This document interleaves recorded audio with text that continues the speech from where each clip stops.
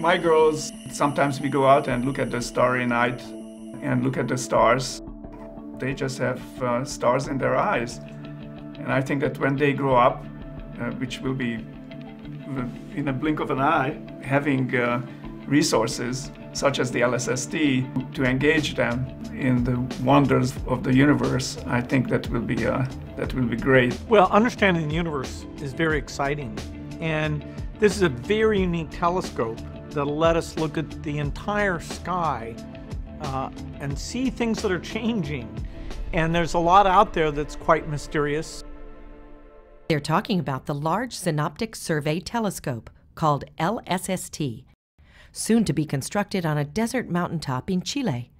Thanks to early investments from Charles Simonyi and Bill Gates, the massive mirrors, three of them, are already completed. These mirrors are part of a structure that will do what no telescope has ever done before.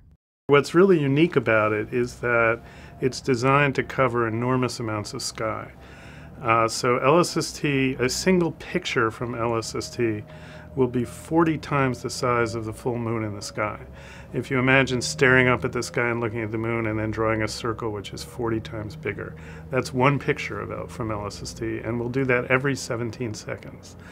Uh, so in order to build a telescope which is capable of taking such a large picture, you need a unusual optical design. The mirrors have to be different than the way most telescopes in the world are. And the main thing you need is an enormous camera we will be building the biggest digital camera ever constructed. LSST is a breakthrough in terms of the mirror, the camera, and the data processing involved because you're going to get so much data very quickly seeing, okay, what was interesting out there so that you can pursue it very rapidly.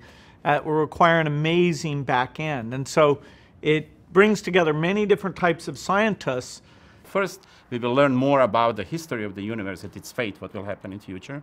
But then we'll also learn about how galaxies get born, how they form, and then how they evolve, how solar systems like ours, how do they form and evolve. So we will learn a lot about history of universe, not just in general sense of cosmology about the expansion of the universe, but we learn much more about each little detailed constituent of the universe. And in addition to this mind-boggling science, We'll also address some pragmatic questions like, is there some killer asteroid waiting there? We will have the best consensus ever of those possible dangerous asteroids that could, in principle, destroy civilization. Are there such rocks out there in space or not?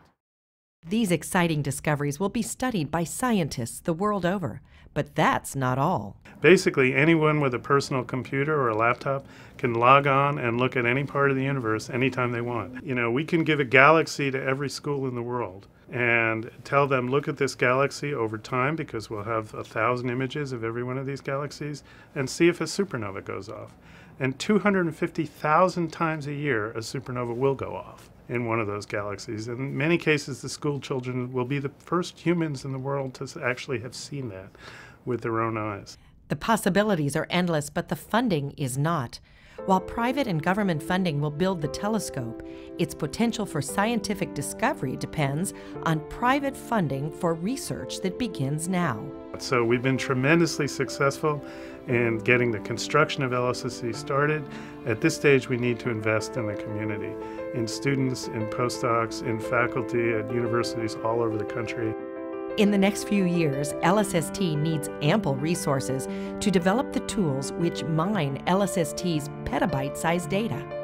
We need resources to develop these tools in a coherent fashion to enable more science. That will be the faucet that controls how much science will flow out of the LSST data bucket.